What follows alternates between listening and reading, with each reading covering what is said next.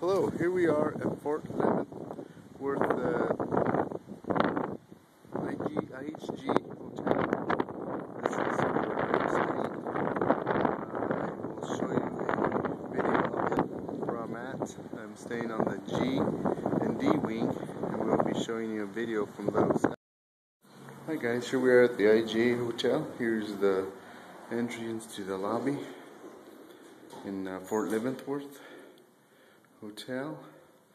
So you can come in. You can see it is very good area in here.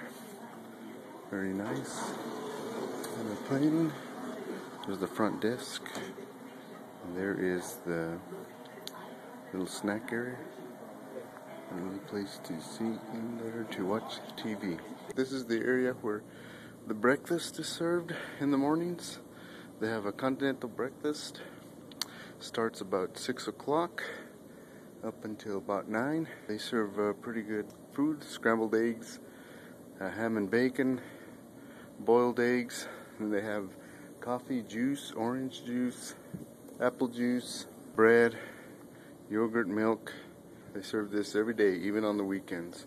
So this is a pretty decent hotel. Continental breakfast is uh, quite a bit. You can get full and have a good meal.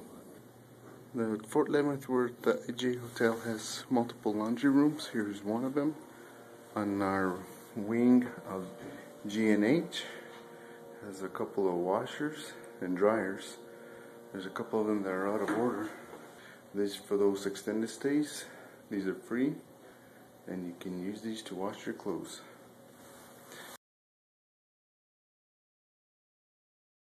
Okay, here we are again at uh, the IHG Hotel in Fort Leavenworth, Kansas. Um, let me uh, show you a quick tour of the room. I'm staying in G section. Here's the entryway as you come in. As you notice here to your right, there's a utility closet. Has an iron, iron and ironing board. You can iron your clothes for the day. More closet space in here. These rooms were initially barracks, so there was two soldiers per room, and they'd see here's room number one and room number two over there, and they'd uh, share the bathroom. And then it has a kitchen area over here. Let's go into room number one, where it's the main room for people in the motel. These are one bed rooms. Uh, so here's the main bedroom here. It's a bed. So you know, so there it has the sink, closet area. Pretty good, spacious, nice, spacious room. There's the heater air conditioner, TV, little desk, and chair. Now let us go over here to the bathroom, do a quick view of the bathroom. As you can see, here it is. It's a bath, shower, a toilet, and kind of a small, small little bathroom. You go over here into the kitchen area. Kitchen area is again spacious. Also has the for the amount of room in here, it's it's it's actually a pretty good sized kitchen area. Look at utensils. People if you're staying longer than a week.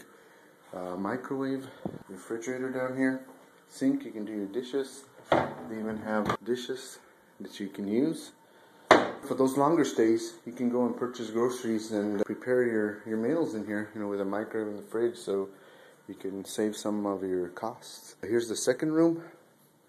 It's more like I consider like a study where you can sit down, relax, visit with friends in here.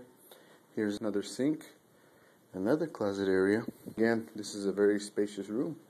They have construction going on outside. It's kind of cloudy today here in Fort Leavenworth, Kansas, rainy. So, again, look how spacious it is.